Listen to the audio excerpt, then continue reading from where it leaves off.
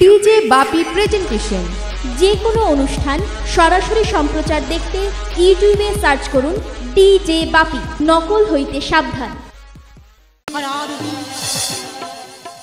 তুই হবি পাবি না তৃষ্ণায় পাবি না জল এক মুষ্টি অন্নের জন্য লোকে দুয়ারে দুয়ারে ভিক্ষা করবি। তার বিনিময়ে লোক তোকে লাথি মারতে মারতে দূর করে দেবে। আজ সেই দেবদাস আমার অভিশাপে হলো পথের ভিখারি।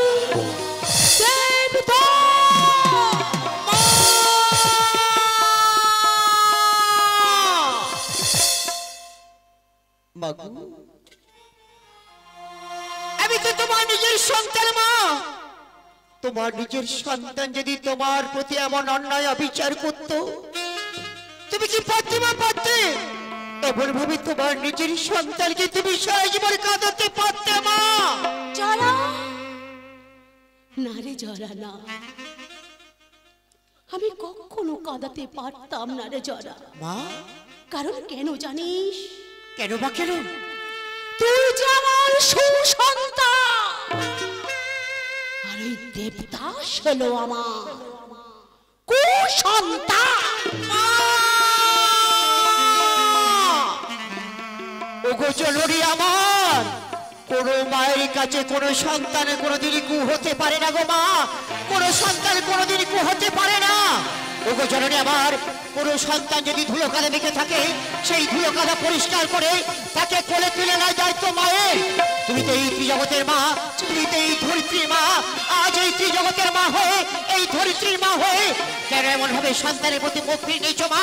সন্তান অপরাধ করেছে, সেই অপরাধকে ক্ষমা করে তুমি তাকে মুক্তি দাও মা, তুমি তাকে মুক্তি দাও। আমি জানি রে যারা আমি জানি। কুসন্তান হলে পরে কুমাতা কখনো নয় রে জরা কুমাতা কখনো নয় বাবা। মা? যা জরা যা। আমি তোর আদেশ করছি যারা। ওই দেবদাসকে উদ্ধার করে নিয়া। তবে শোন যারা যার সময় নিয়ে যাস আমার হাতের হেম ঘর হেমঘট? এই হেমঘরটি দেবদাসকে দিয়ে বলবি। এক ধ্যানে এক মনে নয়নের বাড়ি ছড়ি। সে যদি আমায় মা মা বলে ডাকি, আমি তাকে দেখা দেব। সেদিন আমি এ রূপে দেখা দেব না। সেদিন আমি দেবদাসকে দেখা দেব। শাখারি রূপে। কে বলে তুমি পাশানি তুমি তো করুণাময়ী মা দাও মা, দাও। আজ তোমার হেমঘট আমার হস্তে দাও মাগো আজ তোমার হেমঘটে আমি সেই দেবদাসকে উদ্ধার করতে চললাম মাগো আজ তোমার সম্মুখে দাঁড়িয়ে আমি হেমঘট প্রতিজ্ঞা করলাম মা। আমি যতক্ষণ আর দেবদাসকে উদ্ধার করে আসব, আমি ততক্ষণ তোমার সম্মুখে ফিরে আসব না। আমি এই মুহূর্তে চললাম সেই দেবদাসকে উদ্ধার করতে। তাই যা যারা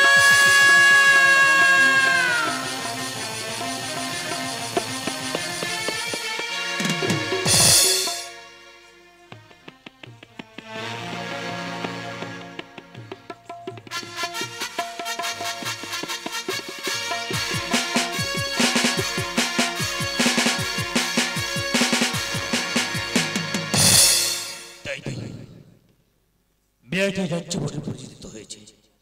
না অনেক রাত হয়ে গেছে। এই মুহূর্তে আমি শয়ন কক্ষে কিছুক্ষণ বিশ্রামে পরিণত হই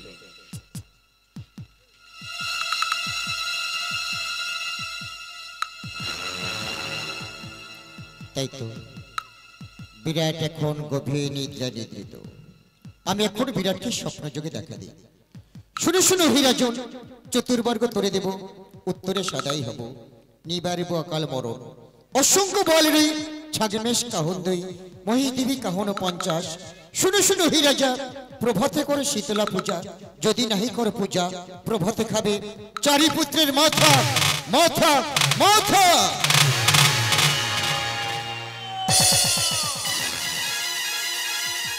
একি কেমল মায়াবী নারী? নিশিদীপ হলকালে বিরাটে রেখাল নিদ্রা করলি ভঙ্গমরে প্রভাতে উঠিয়া করব শীতলা পূজা। আর যদি না করি তাহলে খাব বলে চার পুত্রের মাথা। কে বলবে ইমানি না দিদি সিদীপ হলকালে এমন কাল নিত্যেই কইলে ভঙ্গিত। অথয় অথয় শঙ্কর সর্বা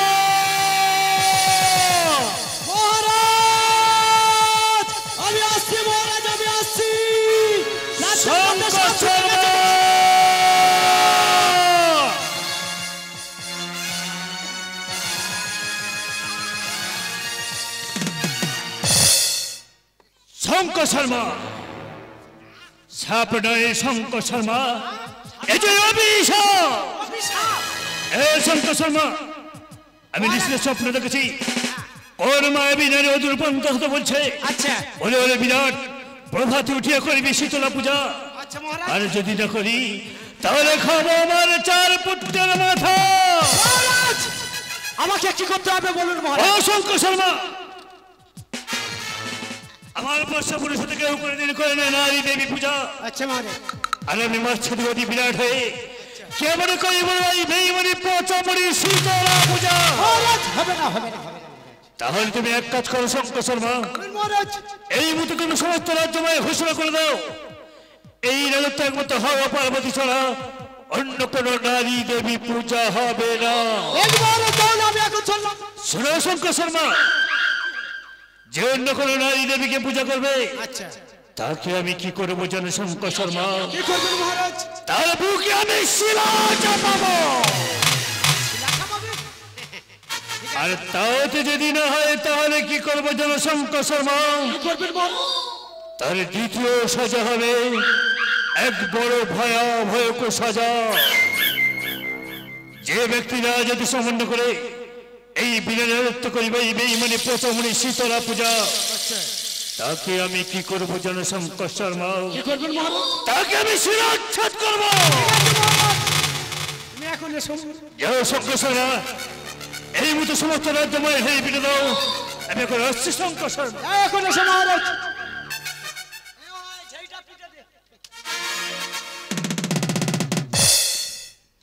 শুনুন শুনুন বন্ধুগণ শুনুন দিয়াম আশ্চর্য ঘটনা আমি করিব বর্ণ। তার মানে আমাদের এই রাজ্যে হর গৌরী ছাড়া যে বেটা অন্য দেবীর নাম গান করবি, তার রাখা হবে অন্ধকার কারাগারে, এই আমার শেষ কথা, আমি চললাম। আমি কোথায় যাচ্ছিলাম, আমি যাব না। ক্ষুদায় দেওয়া হবে না মুষ্টি অন্ন বিমশায় দেওয়া হবে না এক মু- অন্ন। তার ক্ষুদায় মেরে ফেলে দেওয়া হবে। আমার শেষ না আমি যাব না। আমি এখান থেকে যাব না। আমি এক ঝোড়ার আড়ালে লুকিয়ে দেখব কোন বেটা কোন দেবীর নাম গান করছে।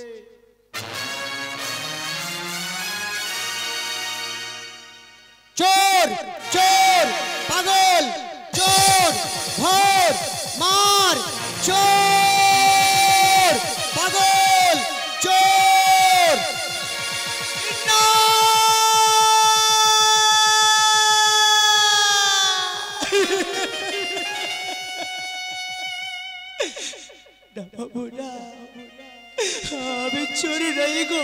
গো নয়। আজ আমার যে ভাগ্যের পরিহাসে আমি যে সবই কিছু হারিয়ে ফেলেছি গো বাবু। আজ আমি হয়ে গেছে একটা পথের ভিখারি, হয়ে গেছে আমি একটা রাস্তারে পাগল। আমি যারে দুয়ারে যাই, কেউ খুদাই আমাকে অন্ন দেয় না, কেউ আমার তিষ্ঠায় জল দেয় না। আমি চোর নয় বাবু, আমাকে মেরে না বাবু। এক কালো বৈশাখী ধমকা হাওয়ায় আমার যে সবই কিছু ভেঙে তাদের হয়ে গেছে। দমকা হাওয়ায় ভেঙে গেছে। আমার সুখের বাসা। ভাবিনি তো হবে।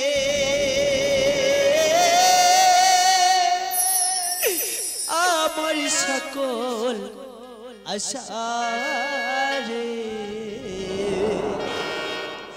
আমার সুখের ভাষারে, আমার সুখের ভাষারে, দমকা হাওয়ায় ভেঙে গেছে রে। আমার সুখের ভাষারে অবিনীত বিলীন হবে। আমার সকল আশারে আমার সৌখের ভাষারে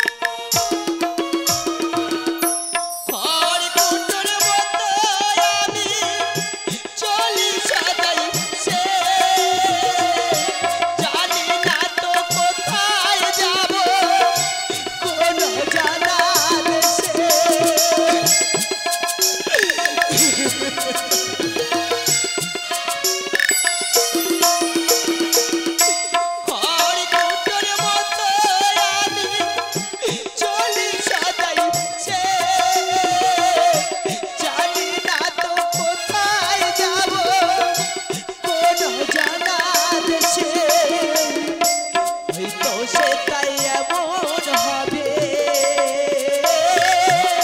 থাকবে না তো কথার ভাষা। আমার সুখের ভাষা রে, আমার সুখের ভাষা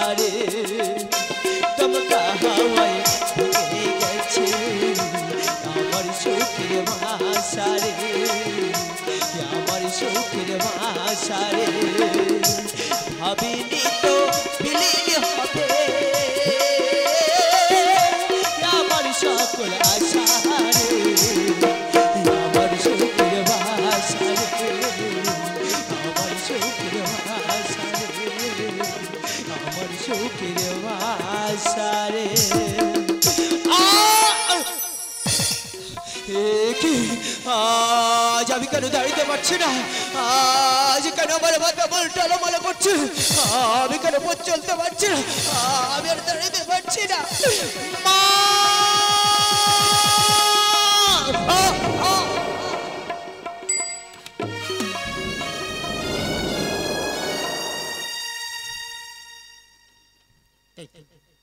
আমি যেই বাইরে দেশ পৌঁছে দেবদাসকে উদ্ধার করতে এলাম। কিন্তু আমি তো দেবদাসকে দেখতে পাচ্ছি না। না না। আমি একটু এগিয়ে যাই দেখি দেবদাসকে দেখতে পাই কিনা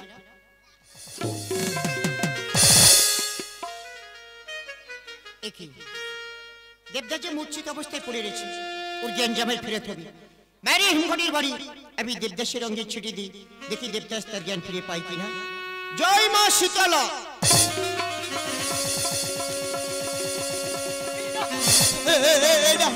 না বাবু, না, আমি চোর আমি চুরি করতে পারি না, বাবু।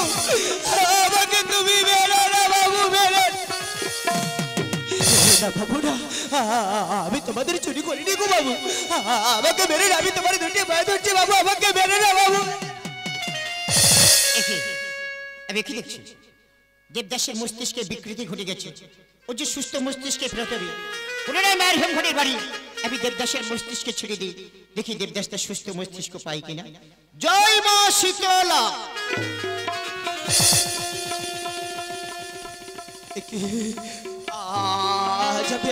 আজ কেন? আজ আমি পাগলের বেশে কেন?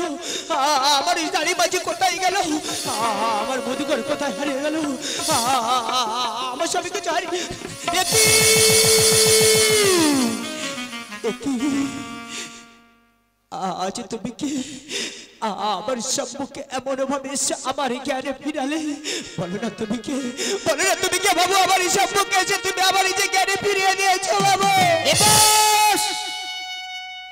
আমার পরিচয় জানার পূর্বে তার আগে বলতে দেবদাস তোর জীবনে কেন এমন দশা হলো? আমার জীবনে কেন এমন দশা জানো বাবু? আমি যে একদিন রাজা ছিলাম, আমি দাড়ি মাঝিদের নিয়ে ওই বাণিজ্য যাত্রাপতি রহনা দিলাম। এমন সময় এক বৃদ্ধা মহিলা এসে আমার তরির মধ্যে উঠেছিল। আমি সেই বৃদ্ধা বুড়িকে কত বুঝিয়ে বাজিয়ে নামিয়ে দিতে চেয়েছিলাম। সে আমার তরি থেকে কিছুতেই নামেনি। আর আমি মাছ ধরিয়া এসে সেই বুড়িকে আমি ঘাড় ধাক্কা মেরে নদীর জলে ফেলে দিয়েছিলাম তারপর? তারপরে কি হয়েছে জানো বাবু? তারপরে ওই বুড়ি কত কাকতে মিনতি করে আমার কাছে বলল করে পরীক সন্তানের দাস, তোরে তরির মধ্যে আমার হয়ে গেছে একটা অমূল্য সম্পদ আমার কাছে ফিরিয়ে দে। সেই বুড়ির অমূল্য সম্পদ কি জানো? সেই অমূল্য সম্পদ হলো সেই বুড়ির হিমঘট। সেই বুড়ির হিমঘটকে আমি কেমন ভাবে ফিরিয়ে দিয়েছি জানো? আজ আমার বুকের উচ্ছিষ্ট ছিটিয়ে দিয়ে আমি তাকে ছুঁড়ে ফেলে দিয়েছি।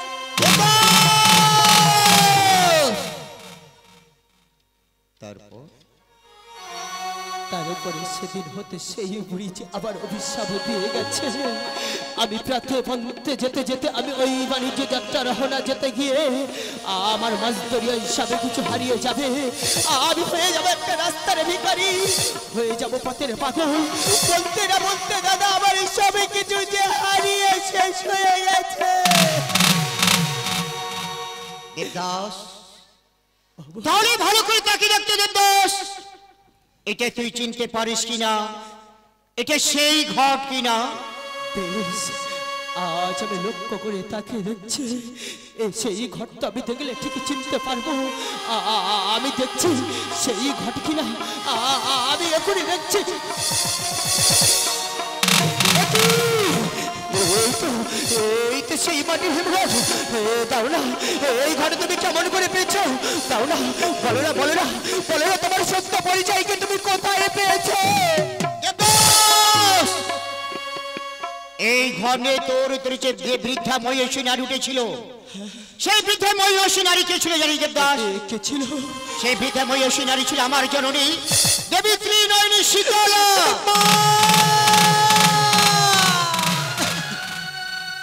আমি তার পুত্র জরাস। দাদা! দাদা গো, আজ আমি চরম ভুল করেছি, দাদা। আমি মাকে ডাকি রে, না বুঝে আমি যে চরম ভুল করেছি। দাও না, দাদা, দাও না। আর আমি মাকে হারাতে চাই না। ওই বাইরে মুখে তুমি আমার মুখে ফিরিয়ে দাও রে, দাদা, ফিরিয়ে দাও। এই ঘট স্পর্শ করার পূর্বে তোকে আমার কাছে প্রতিজ্ঞাবদ্ধ হতে হবে দাস শোন দাস, এই ঘটের জন্য তোর জীবনের বাষ্পে কাল বৈশাখী ঝড়, তোর জীবনের বাষ্প অত্যাচার, অনাচার, তোর জীবনের বাষ্প অকালে মৃত্যু পারবি দেবদাস, পারবি? সবকিছু উপেক্ষা করে এই ঘর তোর বুকের মধ্যে সযত্ন আগলে রাখতে পারবি দেবদাস। দাদা আজ এই পরীক্ষা দেবদাস তোমার সম্মুখে দাঁড়িয়ে কথা দিল, দাদা, আজ এই মায়ের হিমে ঘটা প্রতিষ্ঠা করতে গিয়ে পথে প্রান্তার চলতে গিয়ে এমনকি যদি আমার এই জীবনের মৃত্যু নেমে আসে? আমি কোনোদিন ওই মায়ের হিমে মুখে ছেড়ে করব না, দাদা। আমি যে বুকে আগলে রেখে মাকে মুক্তি ভরে আরাধনা করব, দাদা। তুমি যদি একটিবার ওই মায়ের হিমে আমাকে দাও না, দাদা। দেবদাস আজ যখন তোর পাপের অনুশোচনে দগ্ধ হয়েছিস, মায়ের হেপ ঘর তোর হস্তে তুলে দিলাম। এই ঘর তোর বুকের মধ্যে সযত্ন আগলে রাখিস দেবদাস। কি শান্তি, দাদা। আজ আমার মায়ের হেমঘট আমি বুকে আগলে রেখে আমি যে ভক্তি ভরে আরাধনা করব। কিন্তু দাদা, আমি তো জানি না মায়ের মন্ত্র তন্ত্র মায়ের গুণগান। কি নামে মায়ের চরণ পূজিত হয়? আমি তো জানি না দাদা আমাকে তুমি শিখিয়ে দাও না দাদা। একটিবার মায়ের গুণগান শিখিয়ে দাও দাদা শিখিয়ে দাও। হৃদয়ের ভক্তি দিয়ে নয়নের বাড়ি ঝরিয়ে। এই মন্ত্রের ধ্যানে মাকে ডাকবি। আমার সাথে সাথে গলে মিলে বলতে থাক দেবদাস ও শীতলতম জগদ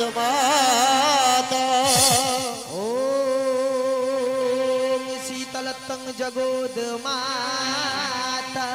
ঘণ্ট কর্ণ জগৎ পিতা। ঘণ্ট কর্ণ জগৎ পিতা। ওম শীতলতম জগধাত্রী মা। ওম শীতলা দেবী নম নম। দেবদাস। মায়ের এই মন্ত্রেই ধ্যান। তুই শিখতে পেরেছিস কিনা? একটিবার আমার সম্মুখে জপ করে দেখতে দেবদাস। দাদা বেশ আজ আমি মায়ের গুণগান গাইতে পারব কিনা দাদা? তুমি একটিবার দেখো না দাদা। আমি তোমার সম্মুখে দাঁড়িয়ে দাঁড়িয়ে গাইছে মায়ের গুণগান। তুমি শোনো দাদা। তুমি দাঁড়িয়ে দাঁড়িয়ে শোনো দাদা শোনো। ও শীতলতং জগদ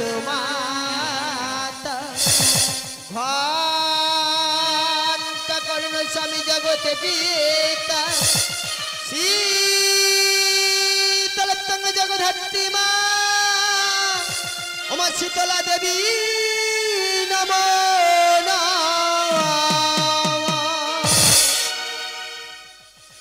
দাদা, দেখো না দাদা, আজ আমি মায়ের গুণগান শিখতে পেরেছি কিনা দাদা? একটিবার তুমি দেখো দাদা।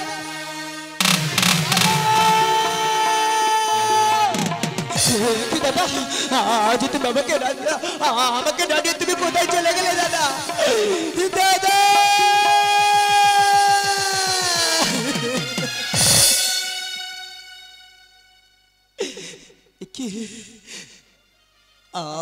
আমি বাইরে হেবে ঘর পেয়েছি, এই বাইরে হেবে ঘরে আমি ভক্তি ভরে আরাধনা করব। কিন্তু তার আগে তার আগে আমার যে খুদায়ে জঠর জ্বলে যায়?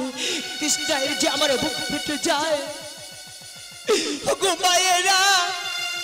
একটু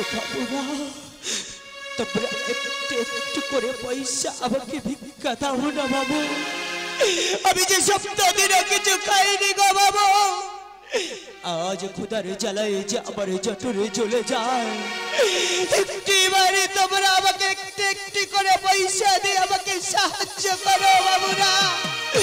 মায়েরা আমার একটি পয়সা দাও না বাবু। একটি পয়সা দাও বাবু দাও। আজ একটি পয়সা দাও গো বাবু।